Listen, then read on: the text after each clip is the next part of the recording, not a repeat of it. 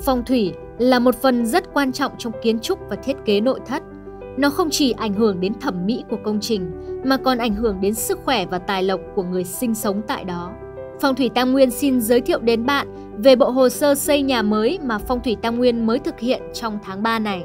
Mong muốn của gia chủ là trên mảnh đất 120 m2 xây một ngôi nhà vườn mái Nhật gồm một phòng khách, 3 phòng ngủ, một phòng bếp và hai nhà vệ sinh.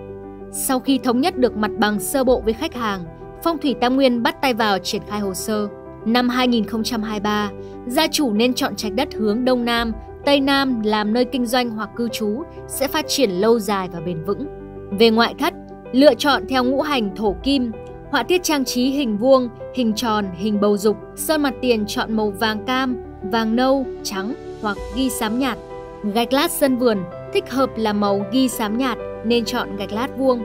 Ngoài ra, gia chủ nên trồng thêm cây phong thủy trong nhà để giúp tăng năng lượng và vượng khí. Phong thủy Tam Nguyên còn tư vấn cho quý khách hàng kích thước cửa với các thông số chi tiết về chiều rộng, chiều cao cho cửa chính, cửa thông phòng và số bậc thang nên làm. Ngoài ra, Phong thủy Tam Nguyên hướng dẫn phương pháp động thổ, vị trí động thổ, tuổi động thổ phù hợp như sau. Ngày phá rỡ, gia chủ thực hiện từ lúc 9 giờ đến 11 giờ ngày 6 tháng 5 năm 2023, động thổ trong khoảng thời gian từ 9 giờ đến 11 giờ ngày 15 tháng 5 năm 2023. Gia chủ tự động thổ hoặc nhờ người tuổi canh tí 1960, nhâm tí 1972, giáp tí 1984 hoặc bính tí 1996. Hướng dẫn phương pháp chấn trạch giúp hóa giải sát khí, tăng cường sinh khí.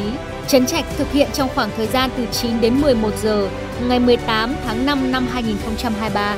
Phương pháp bố trí đường cấp thoát nước giúp căn nhà vượng khí, mô phỏng tổng thể nhà, tổng mặt bằng và mặt bằng công năng của các tầng đã được tính toán kỹ lưỡng theo nhu cầu và chức năng sử dụng kết hợp phong thủy, hướng dẫn bố trí vật phẩm phong thủy giúp kích vận, hóa sát, chiêu tài lộc.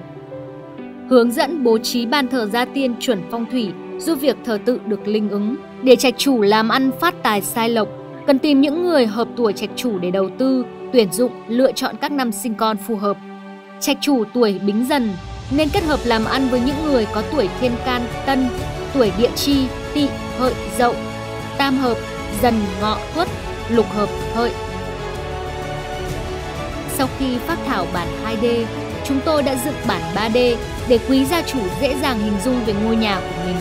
Ngôi nhà vừa đẹp về hình thức, vừa chuẩn về phong thủy và theo đúng yêu cầu của khách hàng. Với mong muốn giúp gia chủ sẽ có một cuộc sống giàu sang phú quý, gia đình hạnh phúc, hưng vượng. Để được tư vấn về hồ sơ xây nhà mới, quý gia chủ vui lòng liên hệ tới số hotline 1900 2292 hoặc để lại bình luận phía dưới video này.